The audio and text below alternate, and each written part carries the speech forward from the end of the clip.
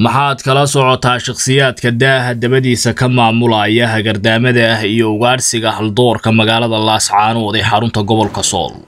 Qorshaha gobolka sool gacanta somalilan lagaga saarayo ee xukuumadda iyo fooda la isugu daraayo shacabka meesha uu ka soo fulayo ayaanu soo ogaanay.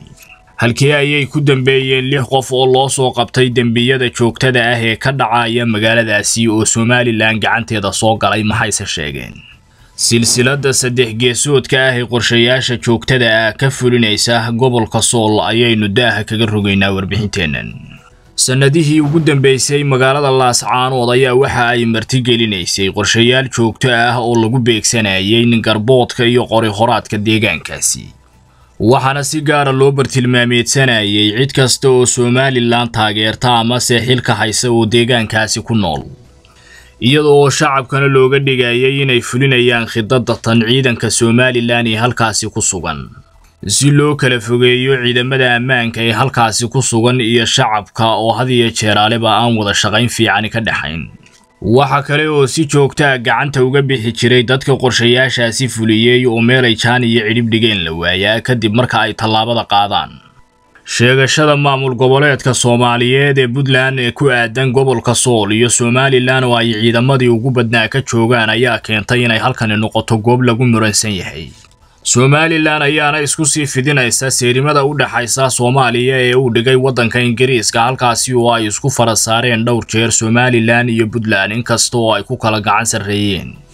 intaasi kadibna qorshihii gobolka sool ku aadanaa ee maamul goboleedka soomaaliyeed ee puntland ee uu doonayay inuu kaga saaro gacanta somalilan ayaa isbedelay. Waxaana la sameeyey silsilad saddex geesooda taasi oo fulinaysa qorshayaasha ka socda wakhtigan xaadirka ah magaalada laascaanood ee soo noqnoqonaya iyada oo lagu midho midhaysanayo haldoorka deegaankaasi iyo weliba shakhsiyaadka taageersan xukuumadda somalilan si ay isa soo baxyo uga dhacaan halkaasi oo ay isaga hor yimaadaan ciidamada halkaasi ku sugan iyo dadka rayidka ahi ugu dambayntana gobolka sool uuga baxo gacanta somalilan. Sida ilo xogogaali noo xaqiijiyeenna silsiladan saddex geesoodka ah ayaa waxa ay leedahay laba saldhig. Wadnaha kala hagayaana waa madaxweyne ku-xigeenka maamul goboleedka soomaaliyeed ee puntland axmed karaash waxaase qorshaha ku wehelinaya mas'uuliyiinta dowladda federaalka ka tirsan ee deegaankaasi ka soo jeeda oo iyaguna qayb ka ah. Waxaana ay labadan qolo iska kaashadaan qarashka iyo qorshayaasha lagu fulinayo howlgallada magaalada laascaanood ee xarunta gobolka sool ka dhacaya. Cabdimadoobe ayaa ah gacanta saddexaad ee qarashka qaadata sidoo kalena qorshayaasha fulisa waxaana uu ka howlgalaa buuhoodle iyo deegaamada hoos yimaada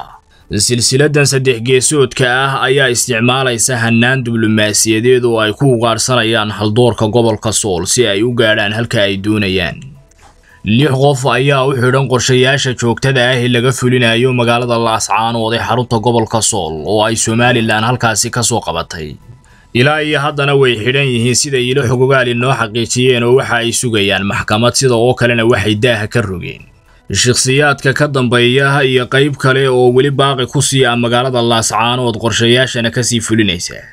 Sidaannu ilo wardhowra ka helayna xukuumadda somalilan ayaa ka warqabta silsiladan saddex xagalka ah ee ka fulinaysa qorshayaasha joogtada ah magaalada laascaanood ee xarunta gobolka sool.